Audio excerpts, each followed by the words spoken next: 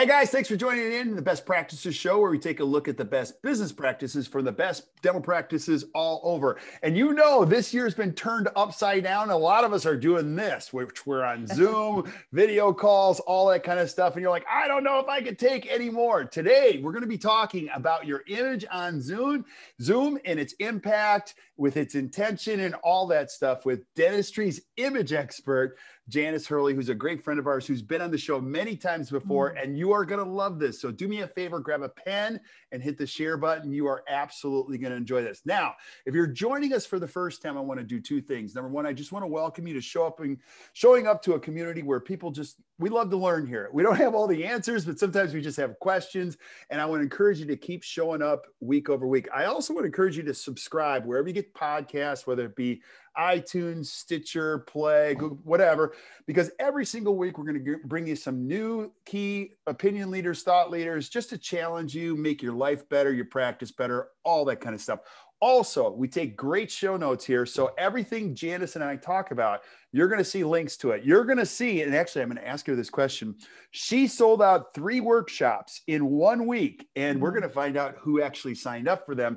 And I'm going to encourage you to sign up for them also. And there will be links right in the show notes. So, what I mean by that is, I don't care if you're listening on iTunes, whatever, go to the show notes, and the links will be right there. You can just click on them, it'll take you right to them. So, Awesome, awesome, awesome. So, Janice, thank you for showing up and being here today. I really appreciate you. I always love having you on here because Thanks you give me homework. I have to like go to work. Like last time, you know, I got dentists looking at you know, nose hair, ear hair, like how they dress, how they position themselves, all that stuff. And you you often talk about the things that people don't want to talk about, but we need to be talking about now. Sure. I know there's a lot of people that might have been listening that do know you and you're an amazing speaker, all that. If mm-hmm. somebody's listening to this or watching this for the first time and they don't know who you are, share share a little bit of your story. I'd love to know. Sure. I was introduced to practice management in dentistry 31 years ago. I was trained by a company called Practice Perfect. And so I used to have those groups, five offices at a time, that would meet for two hours, you know, twice a week and learn the basic principles of business. And as time went on, I got asked to speak at the larger dental conferences, which was fantastic. And I would speak on, oh, the new patient experience, scheduling, the, you know, the usual. And at the same time, I would show before and after photos of the way the staff were dressed, the doctors were dressed. I would talk about proper body language so that somebody could know that you were listening and that you cared. And then before you know it, the meeting planners started inviting me to speak on image within dentistry.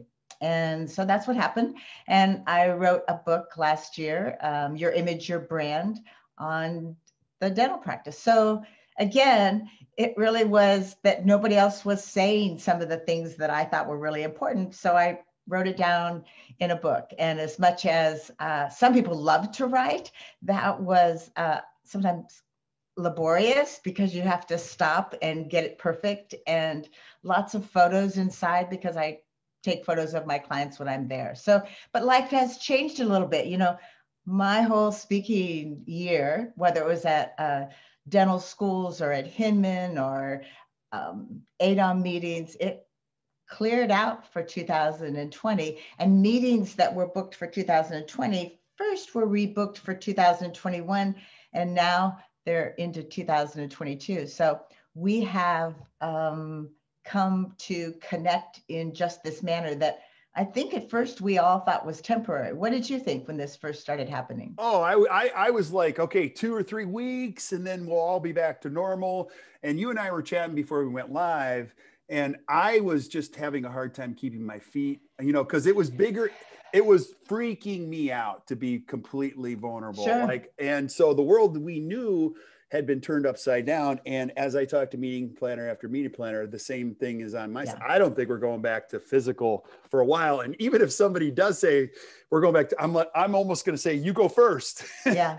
you know sure. what I mean? Because nobody wants sure. that liability either. So yeah, I think I think we're into this current state a lot longer. As a matter of fact, I know we are than we anticipated.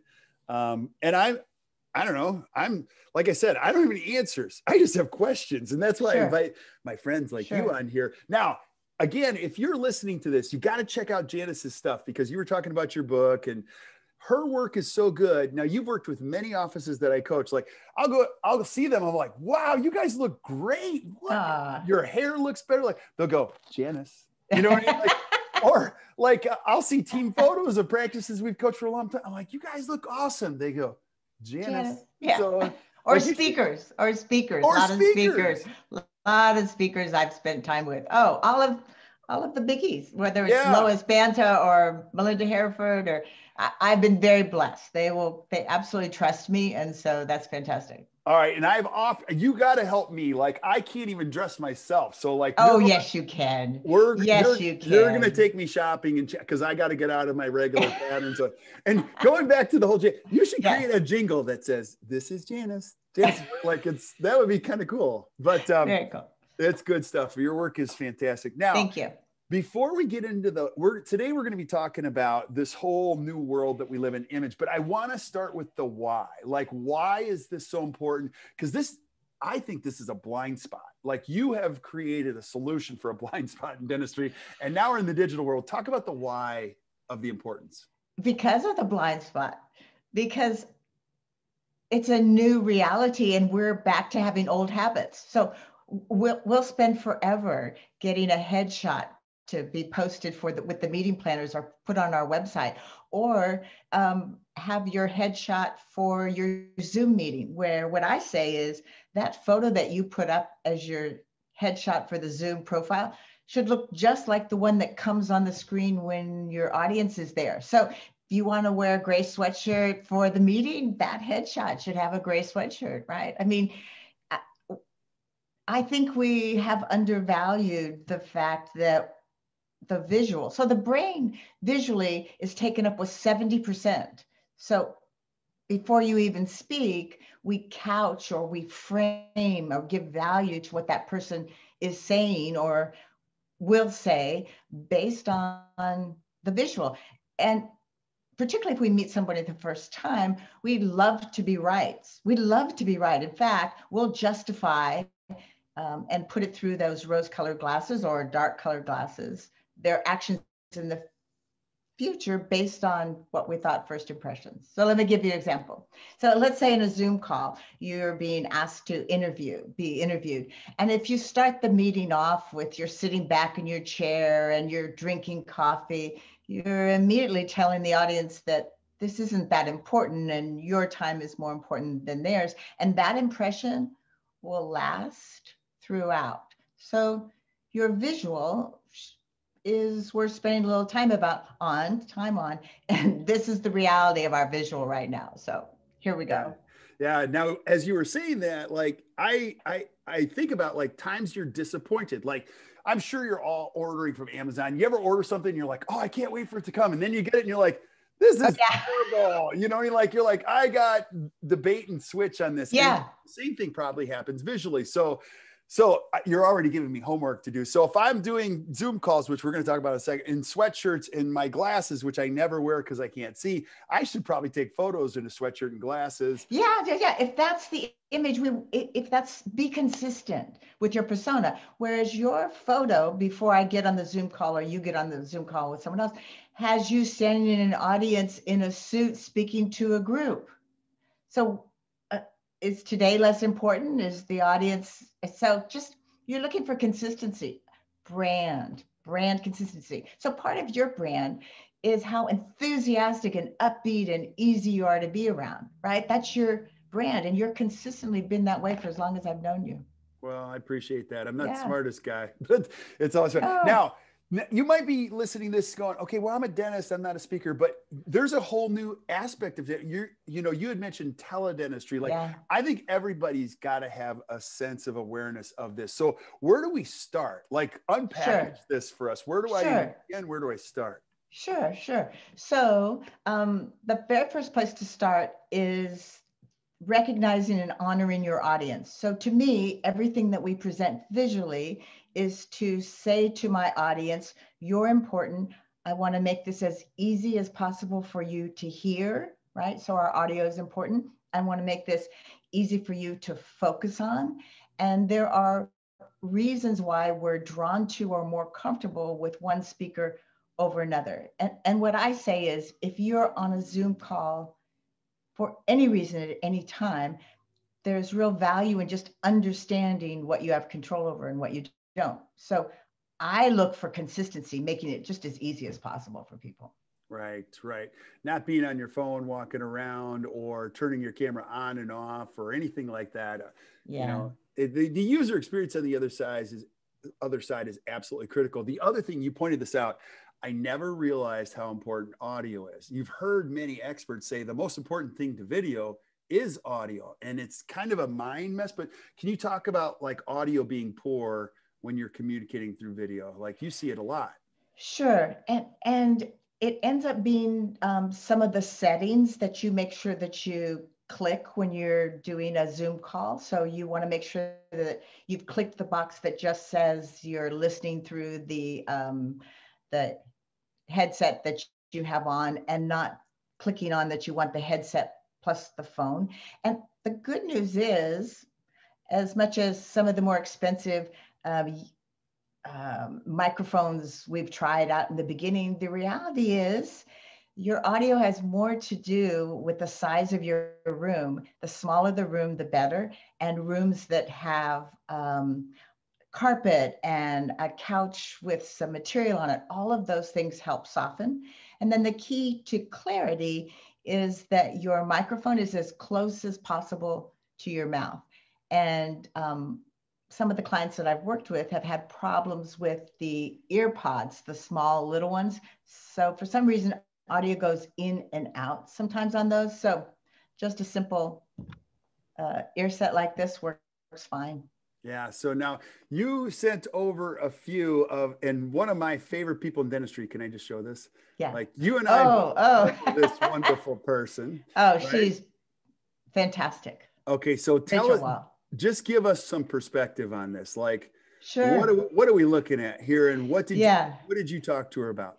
So the the one on the left, she is um, actually probably three or four years younger there, mm-hmm. but she looks older there than the one on the right hand side. And so her thinking was when she first put this up, because this has been a while when we very first started working together, her thought was, I, I want to have a background that shows I love my family. I want to have a background that shows I'm working at my desk. And I said, well, let's let's start with this. Okay.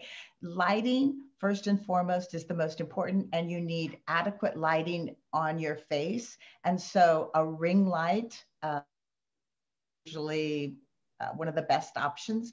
If you want to get the glare off of your glasses, then you can put um, lights on either side. But the lights that you have at home um, are not suitable. Right. You never want to have that lamp that she has off to the side because the camera, which is reading the light, and I got a lamp right next to me. Oh, so again, I got I got Could homework. you just hand it to me? Hand it to me, please. Janice, I, we're gonna take that one out. Every time I talk to you, you make me better. So I will be the next time we do it, I'll I'll have all these things fixed. Okay. That is so true. And I do notice because I did get a ring light and all I could see was you know like the rings in there. So you can soften those up by going at different yes. angles. Okay. Yes, 100%. And it's distracting for somebody to see that glare on your lights and I, your eyes. And I don't mean you specifically. Right. Right. So, but, um, and then camera placement. So we had a workshop Wednesday night with eight people. We, I limit the workshops to only eight people because the goal is that they'll be able to make the changes while we're in class for an hour and a half. And, um, one of the people there who works professionally from at home, though in our dental world, didn't realize that a separate camera was critical. So a separate camera, not the one that is on your laptop or not the one that's on your computer, because you don't have the same quality and variability. It won't pick up the light like it's supposed to. So right. there's there's lots of things. Yeah, oh, yeah. Oh, this was fun. Okay, so tell me about this one. Yes, Kate Williford. Oh, longtime uh, client actually of, of mine. I have dressed her uh, several times, and um, we set up her backdrop and her clothing and her lighting. So she is on a desk where she could stand. Mm-hmm. She's uh, has the largest CPA and financial planning uh, remote firm for dentists in the United States. So she's quite the professional. And she had um, coffee with Kate. So she would invite people to interview that were in dentistry and highly respected. And so she contacts me one day and says, What do I do about these guests that show up with such bad lighting? And it's it doesn't it's not a good reflection on me that this is the person that I had on the program. And I suggested, just like we do in dentistry, having a pre-surgery meeting. You have a pre uh, interview or pre-Zoom call time. And I tell people that I'm just checking their audio.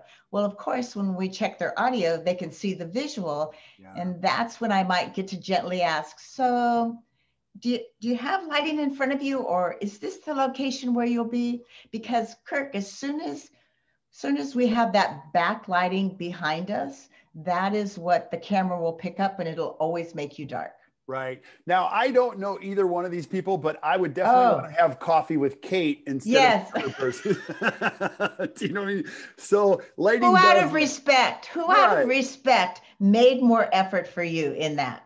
Right, for sure. And this this the picture speaks for itself. Yeah, now thanks. I got another one of these. So oh, you do. All right. What about this one? Tell me oh, about this one. Oh, oh, oh, fantastic. Um, this is Noel, Noel uh, Peshke, mm-hmm. uh, with um, Ultra the the toothbrush, uh, Sonicare, right? Okay. So brilliant, brilliant woman, and she took my workshop Wednesday night, and I give them a questionnaire ahead of time and ask them how they want to be perceived, and she said I am highly respected in my um, industry and I am a business owner and founder, and I look like I'm working out of my bedroom.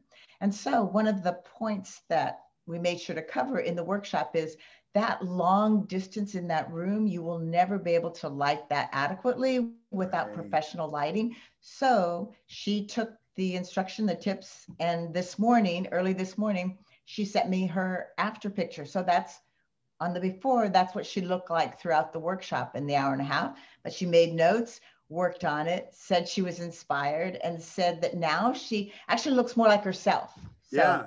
Yeah. I never even took depth into consideration. Depth is an important piece of this. Oh, it's huge. Wow. In fact, I was, you know, like you, we were talking before we went on. Mm-hmm. I, I, love to take CE classes, and I saw that somebody had a, a Zoom workshop, and I'm like, oh, great! I'll I'll watch because I'm always want to learn. And the person doing the training, their background was all gray and long. And I thought, oh, and the person that was trying to get help, she was had this long room behind her and nobody has yet addressed the fact that the depth of the room is a limiting factor or contributor to what you're going to look like so anyway yeah. it's a big deal well i got some again more changes to make now Tell us about this one, good friend between the two of us. Yes, yes, yes. So um, this is Rick Williford, and he's the president of Dentametrics, and many of us as consultants have been using his services. Now, he sent me that picture at the top, and he said, This is what I used to look like when I was getting on. He said, Because it was a casual, this is the words, it was a casual conversation. Mm-hmm. And my thoughts are we can be casual in, in, the way that what we wear and what we do but as soon as we're slouching as soon as we're not looking directly into the camera it's makes it harder for our audience so this is rick's after and one of the things we did was to simplify that background not to have mm-hmm. 5000 books we know you read you know um, in the uh, example you had before of Kate Williford, she used to have equal number of books that you have behind her. And what it does is, whether we know it or not, it's distracting. So totally. what do I have behind me that's distracting or not distracting, or does it just kind of frame and balance the overall picture? Yeah, that's a good point. I never thought of that. And I was so worried about like just doing a plain white wall or like whatever. And so I, I think these are really, really great points. And it's so true too, because when I do interviews, I'm like, he's got a bottle of whiskey on the counter. Yeah. Like yeah, behind yeah. him. Like what he's in a dental practice. Oh, a friend gave that to him. Or there's a football helmet. Be- did you right. Ohio State? You know, like yeah, I did. You know, I, I went there, but I didn't play. So there's all these things, and I just never took them in consideration. That's awesome. That's awesome. Thanks. Good stuff. Now, keep unpackaging this. What other things do I need to be aware of? Or what are some big misconceptions that people have when it comes to this? The misconception is that uh, what you have to say will be more important than the visual. But the visual strongly communicates value to us or interest. And it's really hard for us to get over that. And I believe all of us want to be respected.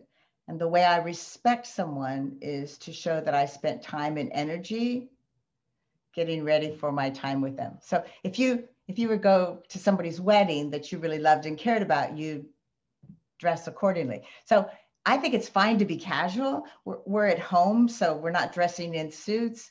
But what we're trying to do is make the lighting and the backdrop look as um, easy to read as possible. So I want, I'll give you a homework. Here's a fun idea. I want you to look at all the ads um, now that are out that show that people are on uh, Zoom calls. And what they'll do is they're stock photos and they'll have, let's say, eight people showing up their little squares. And a stock photo will always have a light background. So it's a light background like mine and a light background like yours, which is pleasant to the eye. The thing is, that stock photo, the average person that gets on a call, on a Zoom call, it's dark behind them because either they have to have proper lighting or in a small enough room that they're backed up to it, or they're using a virtual backdrop. So I have a virtual backdrop behind me. Yeah, I couldn't figure that. Like yeah. that's a really good one. Thank so do you. you have, do you have a green? Like, how do you do that with a green? All right, there, here's the deal. So optimal would be not to use a virtual background at all because then you don't have that little bit of flickering or, or fuzziness. But you and I do phone call and uh, do Zoom calls or interviews at all times of the day, right? So I might do one at 5 a.m. here because it's 8 a.m. back in back east, or it might go um, later. So what determines of whether you can do a virtual background or not is not at all what people think. So what determines whether you can do a virtual background is the um, the capacity of your computer and making sure that you have updated your software. So that means older computers, less capacity, software that you haven't updated will, when you try to do a virtual background, it will give you this whole pixelated person, right? Right. So that individual could add a green screen and get a better result. I don't have to have a green screen because my computer is up current enough and I've updated my software. But what I want you to know is that's actually my office. So that is what you would see behind me if I didn't have the virtual background. Okay, so, so wait, wait, wait. So you took a real photo and you use that as your yes. virtual. Okay. And here's the benefit of it. Here's the benefit of it. That is my personality. That is my taste. That is recognizable if I were to not have a virtual background. And the big piece that you have control over is I can lighten that. So I lightened that right with Photoshop. I just took a, a, photo, lightened it a tad in terms of overall color. So you get that brightness and you are going to be drawn to that brightness. You don't even know it as you're looking at me, but you're going to feel a, a pleasant feeling because it's light colored behind me. Now, here's the downside of um, not doing virtual.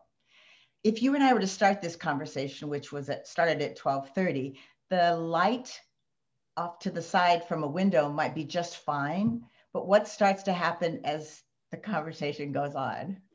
Yeah, it gets darker. So it I got, darker. I got another one after this. So it's 1230 by you. Yeah. It's going to be Yeah. 330. And I'll have a short one, but you know, it's always like, oh my gosh, I can't even see you. And by the by 430 around here, it's Yeah. super dark. So what you're saying is all the variables change Yes. yes. throughout the course of the day. And that is absolutely true. I watched the CE course again. I told you and I were talking ahead of time about what keeps me interested in dentistry anymore, and this was on photography um, in in dentistry. There was a dentist there from Romania, one from New York, and another one from Wi- Wisconsin, and um, they had the worst uh, blank white walls behind them. And the only reason that the white walls weren't nice or aesthetically good to look at is because unless you shine a separate light, Kirk, on the wall behind you, a light that's behind you, not in front of you on the wall, it always comes up kind of gray, right? And literally, one of the dentists, as she was presenting in an hour and a half, the lighting changed and she stood up and like pulled the, you know, shades. And all of that's just unnecessary. We're Yeah. still going to do this for at least a couple more months. I think we're going to do it a good part of the next year. Yeah, I think that's one piece is just getting your expectations because people are like, I'm just done with Zoom. You know, I think the expectation, you're right, is going to go longer. Um, and I would love for you to talk about, you know, best practices, male or female, or things that you see that are pet peeves that might be gender specific, like with Yeah. hair or is there anything that comes to mind? You're like, oh my gosh, you never, you never do that, you know, or something, Okay. male So- or female or whatever, it doesn't matter. Okay. uh, You know, you asked. So the the number one thing that men do is not put a separate camera at the top. They use it on their laptop. And so you're seeing this conversation like this. So you're looking up my nose when I'm talking to you. Do you know any type of a thing? It should Uh, always no, be. I'm looking at the top of your head. Like so if we were having a conversation instead of me Oh. seeing you, right? Mhm. Because on many laptops, which is what people use, that camera is down towards the bottom. right. or it's not up high enough, or you have to tip the uh, screen so much. So let's say the camera is on the top lid, you have to tip it so much that now you're seeing the ceiling. So there are three things no nos in the background, whether you're male or female. One of them is blinds. Those blinds look cheap. They, you know, no blinds. yeah, you're second judging people by the quality of their blinds sometimes. Yes, Like, oh absolutely. my gosh, you're in, Absolutely. you're in one of your kids' bedrooms. You know, like yeah. Oh, yeah, exactly. The other one is a door, like the middle of a door frame. No, that's that's a, a vertical that you're looking at that's competing with the other person's ver- vertical. And the uh, other one, and it's not just special for you, is busy, busy backgrounds. Like how many books do we have? Or writing. I'm trying to read your your sign that says um, "Love cures all," Oh, or uh, you know that type of thing. Yeah. Um, but so the number one no no for men is they are mm, often disrespectful of the other person's time. They Yeah. feel and act as though just who they are is enough. And our visual communicates respect um, or, or, or, or respect or not respect. Now, the number one mistake that women make is um, they can look really washed out because of the lighting that we have to use. We actually can put or want to use brighter lipstick. Want to have a solid color shirt on so it's not competing with what's behind us. And um, don't get so nervous about what it is that you're going to wear that it doesn't allow you to just relax and get close enough to the camera. So optimally, you want to have this space between the top of your head. There you go. like about that much or so. Yeah, yeah. Okay. See, in the overall presence. So what you're doing now, though, is looking down at your camera. Um, and I really want it. Like, are you thinking eye level like that? Always so that looking straight at so I can look straight at you. Okay, that's really good. Like, See, I- see, now you got the ceiling. Right. Yeah. So do you have a separate camera? I do, and I couldn't get it working. So it's up Oh. here. Here, I'll even show you guys. I Yeah. know. So I've got my separate monitor up here with the camera, and for some reason I couldn't get it linked. Now, I also this is probably I'm 50 now. I See, there's the care. ceiling. Uh-huh. So I've got the deviated septum too. So like if oh, okay. like I have dentists that go, "Oh, dude, you need surgery." I'm like, "What are you talking about?" And they're like, "Okay." like aren't you listening to the content? They're like, no, no, no, no. And you got a lower central that's chipped too. And I'm like, oh, oh teeth, teeth for sure. Teeth, teeth for, for sure. sure. But yeah, I think eye level, having a separate camera speaks yeah. to quality, a good microphone, whether it be a headset or whatever, totally yeah. agree. I never thought of the solid patterns. Like that's really very, very important because I you don't want to be fighting. They're fighting in the background. Oh, Whereas, it looks like a circus. They've got a circus going on here, and you're like, whoa, yeah. So I think the really casual look worked at the beginning because we're all thinking, all right, right, we're on lockdown, we're working from home. No, it's going to be a year later before you know it. And if you'd like to be productive in your conversations, act like it's work yeah. Wall Street Journal wrote about the fact that how strongly affected we are by what we wear, even when we're at home. And I think that's important. But my big deal is I was raised that you were supposed to show respect for the other person by being on time and by what you wore. It was like your Sunday best. See, you're too young. You're way younger than me. But we used to have Sunday best. We would wear Sunday clothes out of respect and then get out of your Sunday clothes when you got home. I totally agree. The first one, no one would ever you disagree. You know, like you, being on time is the ultimate sign yeah. of, sign of respect. Yeah. And then Mama always used to say, you know, dress up. You can always, you know, take a layer off, but you yeah. never assume casual. Yeah. Like you know, yeah. You know, and she'd always say, you can always take off a tie. Oh, your mom, you know? your mom was smart. Yeah. yeah. Yeah. And so we would dress, you know, she'd dress us up in those big, like uh, huge collar with a plaid, all that oh, stuff. yeah. You know, Easter Sunday was almost like every day so, or every Sunday. Yeah. But I totally agree. Like I I hmm.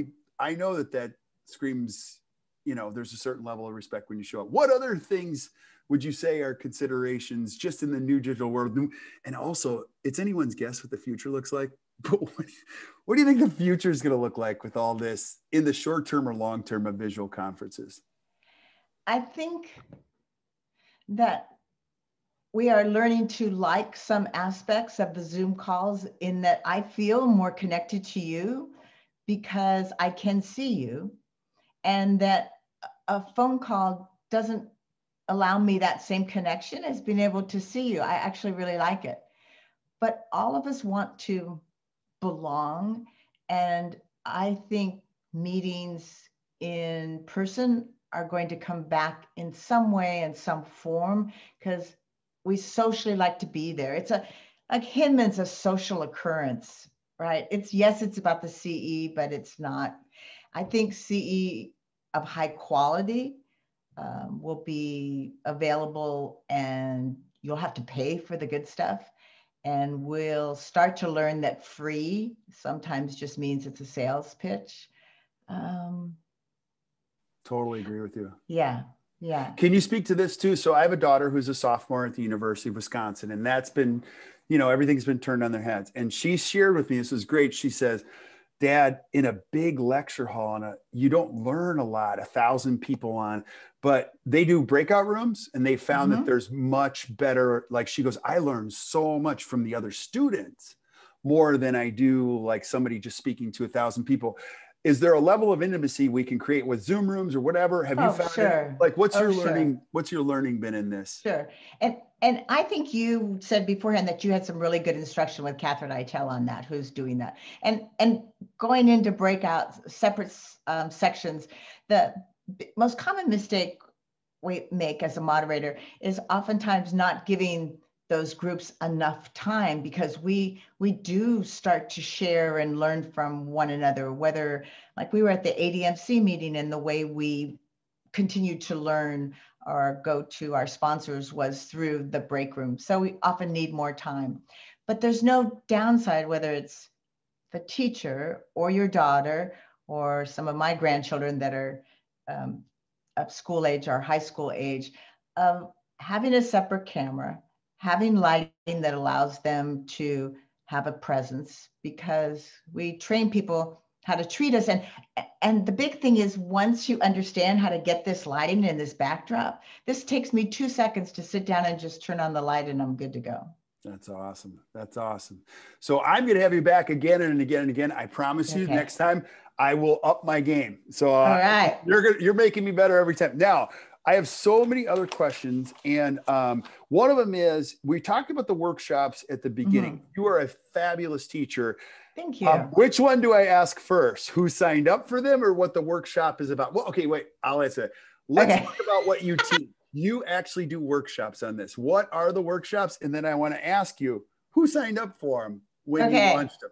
Yeah, it's interesting. So the workshops are for an hour and a half. They're limited to eight people. And the beauty of this is you can actually see the attendees in terms of where they're at and what they want to do, right? So let's say I was to do a workshop on speaking, I wouldn't be able to immediately tell where somebody's at in their speaking. But when you get on these Zoom calls and the eight of you are lined up, you can clearly see, okay, haven't figured out lighting, you know, et cetera, et cetera.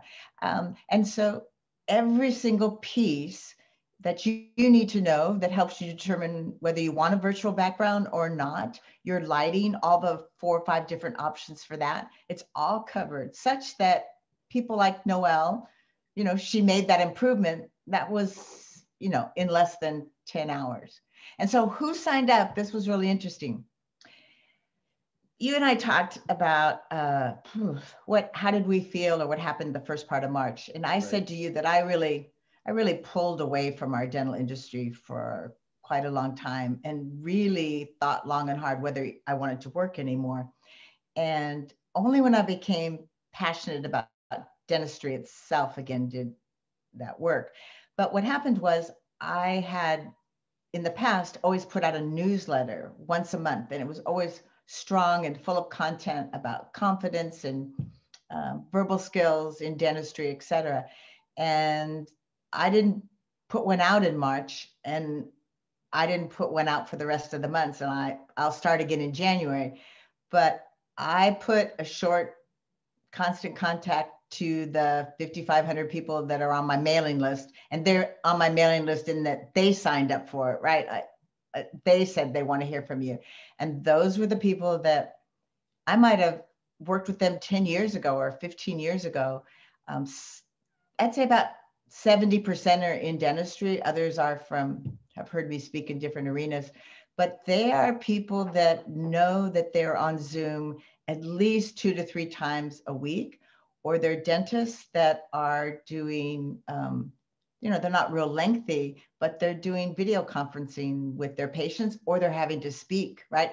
So we used to work so hard on our stage presence and then we didn't work at all on our zoom presence but this is our stage right now you are so right and we don't know how long this is going to last but there's one no. thing for sure we do have to we're we're human beings that need communication we need connection yes. and so yes. as digital as this is and i always love people in person this is just the way we got to do it for a while yeah yeah so, yeah this is awesome. thanks awesome. for having me I love it. Wait, wait, wait. Before you go, for the benefit okay. of people listening on iTunes, if you're listening to the audio podcast, tell them where to go because I'll have the links in here. But where can we find out more about what you do, Janice? Like sure. all of your stuff. You just Google my name, Janice Hurley, and it will come up. Um, Dentistry's Image Expert, and the workshops are listed there uh, right on the first page. Um, we added two more. We just added them today because the first three um, sold out. Um, they're sold out for January. So February 10th and February 24th are the next workshops. And as soon as eight people sign up for those, then that's it. Yeah. For Jess, those, you, yeah. You are a gem and a, she's truly a great teacher. Now, here's the other thing she's a straight shooter. So she's not going to sugarcoat. She'll tell you, where'd you get that? To get that off. Like, so you don't waste a lot of time with Janice. Yeah. She's going to get you where you want to go. Uh, that's the goal, right? Yeah. You're there for a reason. If you signed up for the workshop, you want results we can make it happen. So that's what it's all about. Well, I appreciate you, my friend. It's oh, always good to see you. you. I want you to come back again in you know a couple okay. weeks and teach us something else. Now, wait a okay. minute. You got to stick around while we say goodbye to everybody else here on the podcast. But thank you for tuning in to the Best Practices Show. We always enjoy having people here. And if you enjoyed today, which I know you did, just do us a favor hit the share button, share this with your friends, keep sending us suggestions for shows that you want to see, whether it be mm-hmm. with Janice or anybody else. We want to sure be sure that we bring you the content you want to hear about and see. And until we see you next time, keep watching the best practices show. You guys enjoy the rest of your day.